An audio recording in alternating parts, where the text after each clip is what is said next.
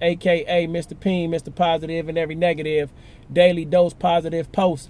If you want to blow up, you got to show up. What do I mean by that? Plain and simple. Whatever you want to blow up in, you want to succeed in, you need to show up every single day and give 120% every single time. Blowing up don't just happen by chance. Blowing up just don't happen because you thought about it, you wrote it down, you dreamed it. Blowing up still takes action. You have to have action in order to get to where you want to go. So if you really want to blow up, then you have to show up. Don't make excuses. Show up, grind hard, go hard in everything you do. Yeah, you're going to get knocked down, you're going to fall down. All you got to do is keep showing up and it'll get easier. I show up to school every day an hour and a half, 2 hours early because I want to blow up. I show up this early because I know I'm weak in certain areas. In order to strengthen this, I have to show up early. In order to make this flame turn into a fire, I show up so we can blow up. So when you want to blow up, start to show up, my friend, and watch how your life change. I'm out.